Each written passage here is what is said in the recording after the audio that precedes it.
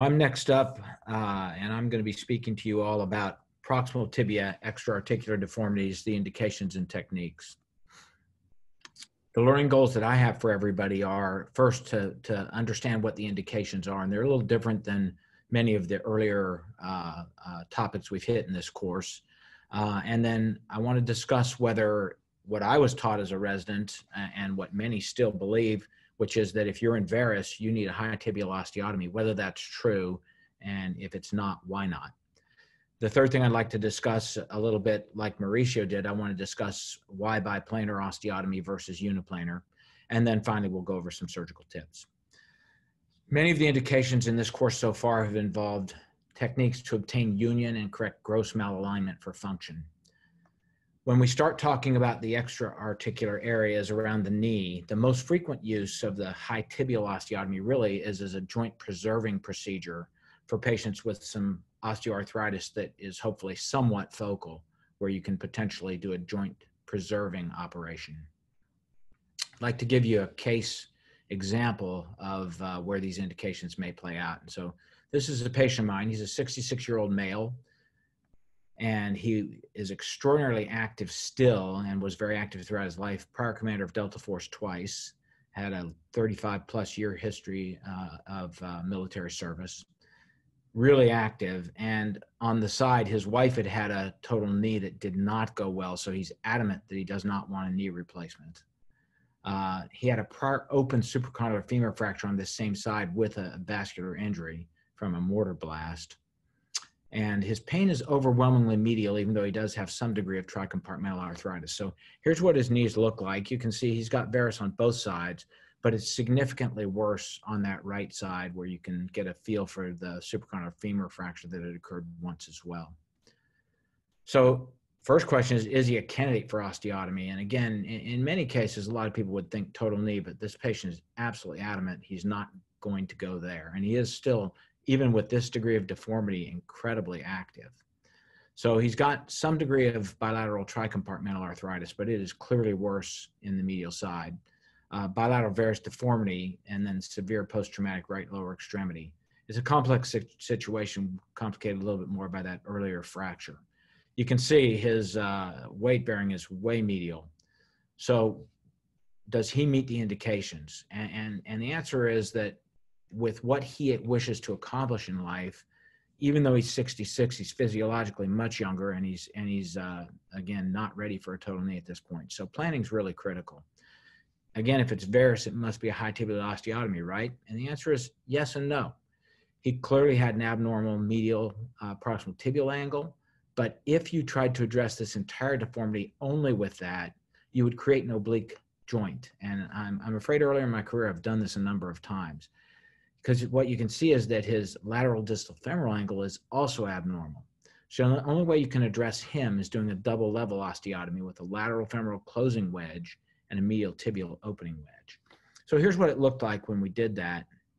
We were able to get him uh, a nice correction that got him down the middle. He had substantial pain relief at one year, and he's now two years out.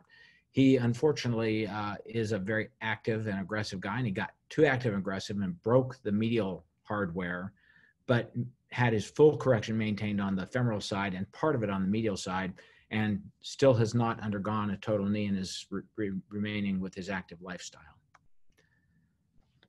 So that's indications. What about the idea of varus deformity always requires a high tibial osteotomy? I'd like to show you another case. This is a patient of mine that's 33 years old, extremely active female, but multiple prior surgeries for post-traumatic osteoarthritis ended up having biologic replacement of both the medial and lateral compartments. And I don't want to concentrate on that. I want to concentrate on the alignment issues. This is what her alignment films look like. And what you can see here is that she's in quite a bit of varus, and we, we can't allow that to stay that way and expect for that medial compartment uh, biologic replacement to survive. So does she need a high tibial osteotomy? Your initial thought would be probably so. She's in quite a bit of varus.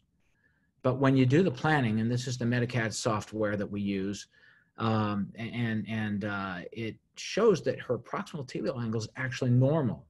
It's her lateral distal femoral angle that's abnormal. So even though she's in varus, if you were to try to treat this and get her Mikulicz line appropriate by doing a tibial osteotomy, uh, that, that was an opening wedge, like most people would think, you would end up with severe obliquity of the joint and she would do very poorly.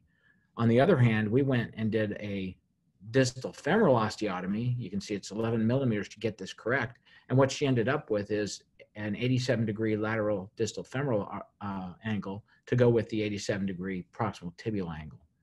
So it's very important to understand that it doesn't automatically mean you need a high tibial osteotomy when you're in varus.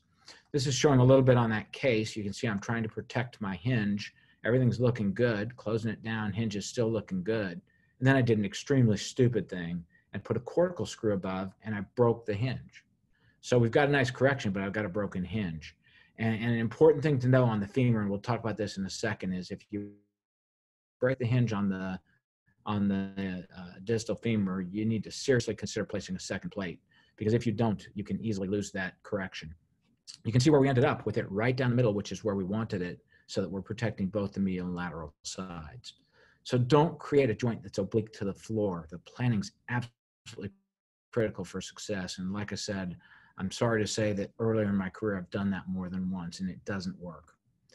Okay, what about biplanar osteotomies? Mauricio gave a fantastic discussion of this for the distal femur. And I think that it's very important. And all of my training had been in uniplanar. So this is something, again, I learned later in my career. But what, what's the reason? Why would you want to do this proximal tibia? One reason is it, it very much improves your ability to adjust correction both the coronal and sagittal plane. So yes, with a uniplanar, you can make a little correction on your slope, but you can make a much bigger and better correction if you need to by doing the biplanar. Second reason is you have a lot better stability due to much increased surface area because of that, that cut anteriorly. And then faster healing due to that increased bony surface area. So you can get the idea with this of that increased surface area that allows you to hopefully heal more quickly and be much more stable where you're not going to lose it in the sagittal plane. Let's talk real quickly about some surgical tips. Uh, you want to do a medial approach generally for the proximal tibial osteotomy preserve the pes tendons. There, there are different plates that are designed to protect them, and, and there's just no need to take them out. Um, use a Kirschner wire to guide your cut and make sure it's an oblique orientation. You want to aim with your, your, your, cut to take hit the tip of the fibula. Uh, uh, Professor Lobenhoffer says that you want to knock the hat off the top of the fibula, and he, he always draws a little hat on the top there. So you want to hit right to that tip. Don't cut the lateral cortex. You want to preserve that and make sure the knee's flexed for your posterior cut so that you don't put the neurovascular structures at risk. Again, for me, I strongly believe now in a biplanar cut, and you can see kind of the drawing there to show what that angle should be in order to make that cut. And then you want to open your osteotomy very slowly and progressively to avoid fracturing that lateral hinge. Uh, the the uh, Tomofix set, which is specifically designed for tibial osteotomies, has five osteotomes in it. And if you can place those sequentially and slowly, here you see three of them placed in, it'll very slowly open up your osteotomy. Now, you don't have to have that set, and you don't have to use those plates in order to do this, but if you can get a set of osteotomes, you can accomplish the same thing. But it's a very slow process to open it so that you preserve that hinge. And then you exchange those osteotomes for a lamina spreader like this and measure exactly from your preoperative planning how much you want to open it, and then you're all set. You want to stabilize the osteotomy with a plate. Any larger plate that's 4.5 or bigger can be used. There are sets like this one here that, that uh, are specifically designed for it uh, and, and make it probably a little bit easier because they're anatomically designed and they're really for that. Um, this will heal without grafting and so you don't have to put in any graft. I do like to add bone marrow aspirate concentrate and allograft just to speed the healing process so I can let my patients get going with weight bearing earlier, but it, it will heal without it if you don't want to do that and save some money. That's an example of the system we use to get the bone marrow aspirate concentrate. What happens if you do break the hinge? So if you're doing that proximal osteotomy, if you break the hinge like that black line I just showed into the tib fib joint, it's generally stable and you don't usually need to do an, an, open reduction internal fixation on the other side, on the lateral side. So you can just manage it conservatively, maybe go a little bit short, slower with your uh, uh, weight bearing, but you don't have to do anything else. If, on the other hand, you break the hinge above the tib fib joint, either into the joint or proximal to the tib fib joint, at this point now you really need to plate that laterally as well, or it's, you're going to lose your stability. What about the distal femur? If you break that hinge, like I showed you, it tends to be unstable and you really need to plate it on the other side. Okay, so what is what's the summary I would tell you? First, the indications most frequently involve joint preservation with post-traumatic osteoarthritis. Planning's critical. Varus does not automatically equal a high tibial osteotomy, and biplanar osteotomies have many advantages. Finally, know the technique tips. If you're wondering how, how do these fit into my toolbox of handling post-traumatic osteoarthritis, for me, it's an, an issue really of physiologic age. So when I state ages, I'm really talking about physiologic age. Some older people are, are really physiologically younger and vice versa.